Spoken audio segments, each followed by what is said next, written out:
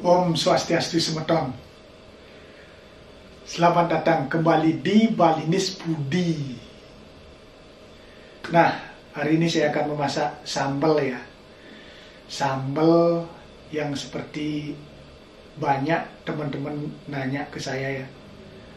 Gimana sih caranya memasak atau bikin sambal itu ya? Nah, ikuti saya terus sampai videonya selesai ya. Oke, pokoknya nggak usah lama-lama. Silakan tonton, like, komen, subscribe, dan share ya. Pokoknya mantap Pak Nyos. Suksemo, Rahayu, Om Santi, Santi, Santi, Om. Nah, di sini ada untuk bahan sambal balinis budi ya. Bahannya adalah ada gini ya apa?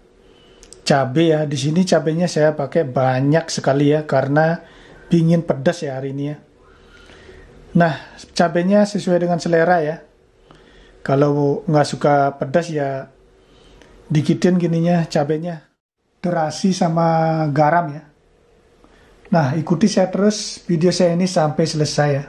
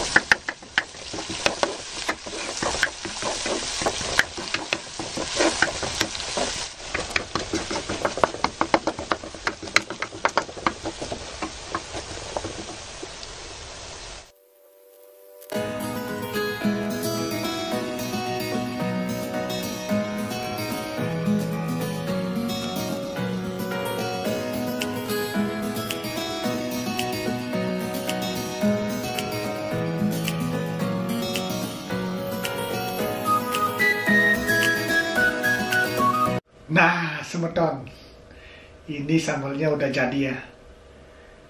Sambal Balinis Budi. Mantap. Maknyos.